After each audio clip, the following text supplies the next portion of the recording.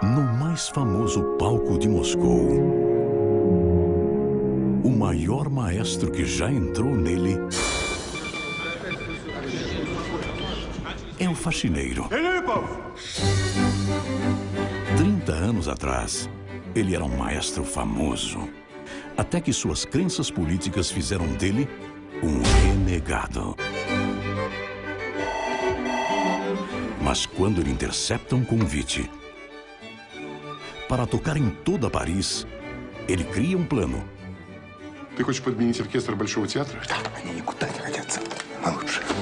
Que vai roubar o show.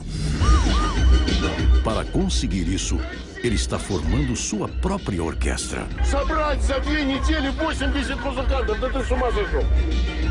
Mas para prepará-los, será preciso um milagre.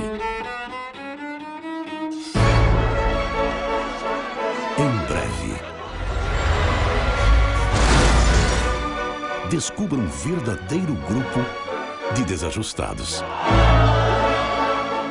E redescubra a alegria universal da música.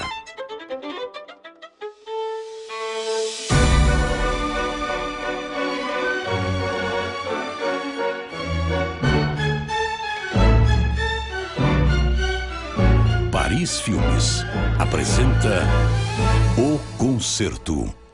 Breve nos cinemas.